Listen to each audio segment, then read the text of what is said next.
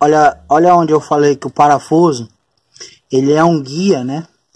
É, se não aguentou a impermeabilização, o próprio parafuso que, que ele atravessou, ele é o que? O USB, ele vai formar uma esponja atrás, ó, que vai sugar, tá?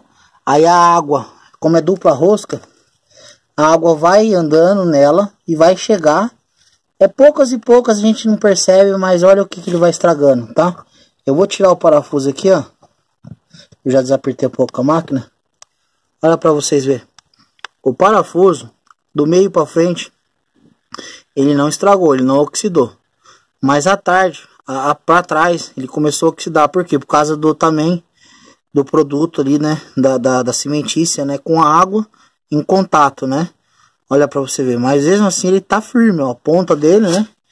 Mas olha aí o que acontece com o USB. Se pegar água, tá? Tá bom? E vamos tirando aqui para nós ver o processo da frente.